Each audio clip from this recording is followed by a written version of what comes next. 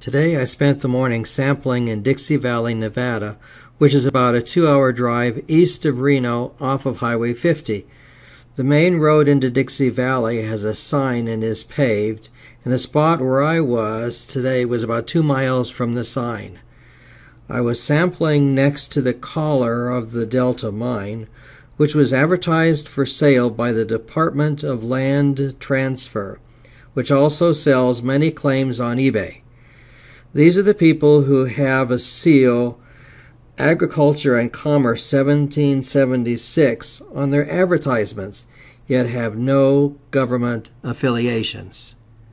I'm looking for a claim where I could set up my dry washer, and after reading the Department of Land Transfer's advertisement, decided to take them up on their word.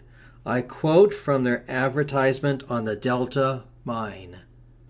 We did some extensive testing in the general vicinity of the mine with an Olympus Delta Premium handheld XRF analyzer spectrometer to look for gold and silver, and without even entering the mine, there were good enough numbers from the material just lying on the ground to justify doing some dry washing. I would suggest you spend a weekend running the top two or three feet of topsoil and gravel in about a 10 foot radius of the mine shaft and take the concentrates home to pan. A couple of days' worth of work should be enough to pay for the mine. Then make your plans to open the vein on the surface or enter the shaft to pull some more materials. End of quote. So I got permission from the department to sample their claim prior to making any purchase decisions. So here is my first sampling dig. Then I set up a dry washer and went to work. Here is some footage of that.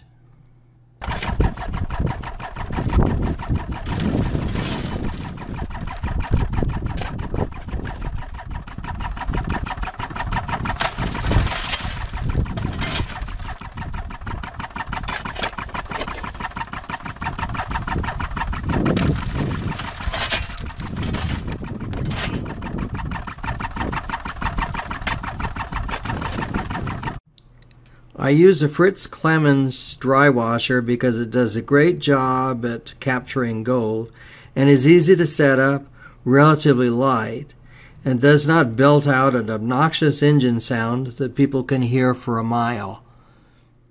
Here was my second sampling hole, and as you can see, once again, I removed quite a bit of material, certainly three bucket loads, if not more. All of the material came from the mine, and from the rocks shown here, the old timers were following an ancient river channel. Some of the rocks from the first hole sampled were cemented aggregate, and I wonder if this super hard material served as a false bedrock for gold capture. I also excavated a third hole, and here it is. And again, more rock that happened to be river burden. So for all three holes, here are part of the finds.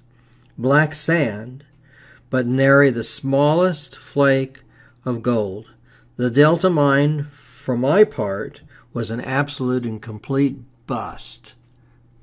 I did not make a purchase here, and I did cover the sample holes. Lesson learned before you put your cash down, always sample. Now, maybe I sampled in the wrong areas, but this certainly would not have been the right purchase for me.